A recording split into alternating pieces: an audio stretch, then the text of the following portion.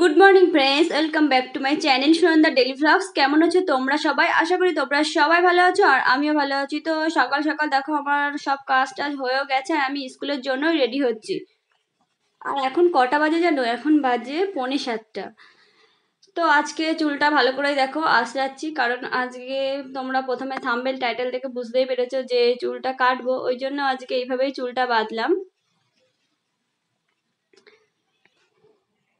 তো আমার সাজুগুজু কমপ্লিট তারপরে নিচে এসে দেখি তোমাদের দাদাভাই এই ঘরে শুয়েছিল। তো আমি বললাম যে প্রতিদিন তো আমি ঠাকুর প্রণাম করি কোথাও যাওয়ার সময় তো তুমি শুয়ে আছো যখন আমার একটু ভিডিও করে দাও।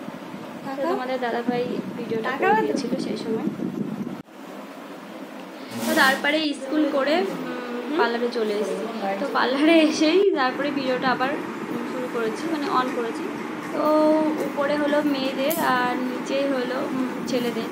তো উপরে কোনো ভিড় নেই, এখন সকালবেলা, এখন দশটা বাজে, তো উপরে কোনো ভিড় ছিল না, কেউ ছিল না। আর নিচেই হলো ভিড় ছিল, তো ওই জন্য আর আমি আর আন্টি এসেছি আমাদের স্কুলের আন্টি। তো দেখো, আমি মাথাটা প্রথমে আসছে তারপরে তোমাদেরকে ঘুরিয়ে ঘুরিয়ে একটু দেখাচ্ছিলাম পার্লারটা। আমি দেখাচ্ছিলাম না কিন্তু আন্টি দেখাচ্ছিলাম আন্টিকে বললাম যে তুমি একটু ঘুরিয়ে ঘুরিয়ে দেখো। তো আমি আবার একটু চেয়ারে বসে একটু ভিডিও করছিলাম। তো মনে মনে কষ্টও লাগছে। তো গরমের হাত থেকে বাঁচার জন্য তো চুলগুলো কেটেই ফেলছি। কিছু করার নেই। খুবই গরম আর চুলগুলো যত্নও করতে পারছি না ঠিকঠাক করে। তো প্রথমে ফার্স্টে আগে বুড়ো ফ্ল্যাপ করছি। এই দাদাই করে। বুড়ো ফ্ল্যাপ চুল কাটা আর বউ সাজানো সব কিছুই দাদা করে আর দাদার ওয়াইফ সেও করে। তো দাদাটার কাছে, দাদা ভালো বুড়ো শেপটা আমার খুব ভালো লাগে দাদার কাছ থেকে। তো তারপরে চুলটা দেখো অনেকটাই লম্বা করে ফেলেছি চুলটা। তো কাটতে কষ্টও লাগছে, কিন্তু কি করব?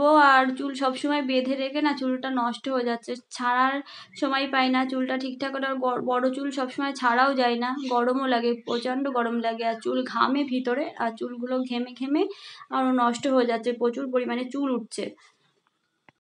তো ভেবেছিলাম আমি সামনে লেয়ার কাট দেবো। লেয়ার কাট দেওয়ার আমার অনেক দিনের ইচ্ছা, কিন্তু এই প্রথম ফার্স্ট আমি লেয়ার কাট দিচ্ছি। তো, দেওয়ার অনেক দিন থেকে ইচ্ছা, কিন্তু দেওয়া হয়নি কোনো দিন এখনও তো ভেবেছিলাম পিছনের দিকে গোল করব আর সামনে লেয়ার কাট দেবো। কিন্তু দাদা বলল যে ওরকম করো না, পুরোটাই লেয়ার করো, তাহলে ভালো লাগবে। তো, তা আমি ঠিক আছে, করি যে, করেই দেখি কেমন লাগে। তারপরে আবার চুল বড় হলে আবার ঠিক করে নেব। তো তারপরে দেখো, এবার চুল কাটা শুরু করে দিয়েছে দাদা। তো সামনে থেকেই দেখো কতটা ছোট হয়ে যাচ্ছে।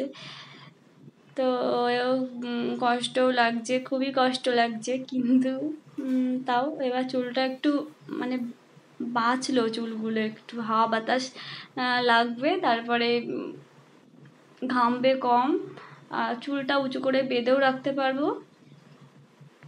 আবার সবসময় একই রকম ভালো লাগে না। অনেকবার চুল বড় করেছি, আবার অনেকবার ছোটও করেছি। এখন যা চুল আমার, এর থেকেও বড় চুল হয়ে গেছিল একবার। তো সেখান থেকেও ছোট মানে গোল কাট দিয়েছি, বেশিরভাগ গোল কাট আর ইউ কাট। এই দুটো চুল কাটে বেশি দিতাম। আর লেয়ার কাটটা আমি কোনোদিন এখনও দিইনি, তো এবার ফার্স্ট আর সামনে লক্স কাটতাম। লক্স কেটে একটু ছোটো ছোটো করতাম, কিন্তু পুরো লেয়ার কাট কোনোদিন আমি দিইনি। যখন চুল কাটছিলাম তখন ভাবছিলাম যে কেমন লাগবে, ভালো লাগবে তো লাগবে তো। তারপরে তোমাদের দাদাভাই আবার বাড়ি এসে বলছে কি কেমন লাগছে তোমার দেখতে? তো যাই লাগুক না কেন, তোমরা বলো আমাকে কেমন লাগছে। তো তারপরে ফাইনালি আমার চুলগুলো দেখো কাটা হয়ে গেছে আর ভীষণ ভালো লাগছে এই চুলগুলো। এটা আমার ভালো লাগছে, কষ্ট হলেও ভালো লাগছে। মানে ছোট করেছি, এটাই ভালো লাগছে।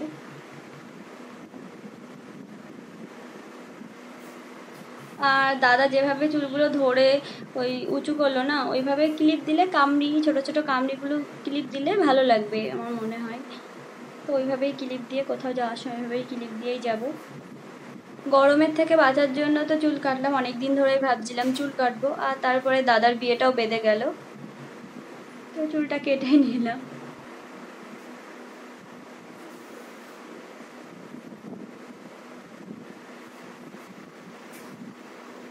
চলো, এবার হয়ে গেছে। তো এবার বাড়ি গিয়ে তোমাদের সাথে তারপরে কথা বলব। তো আমি বাড়ি চলে এসেছি। এসে দেখো, স্নান করা হয়ে গেছে সব কিছু নেড়ে দিয়েছি। তো স্নান করা আমার হয়ে গেছে, আর এখন অনেকটা ফ্রেশ লাগছে। আর এইভাবে চুলটা বেঁধেছি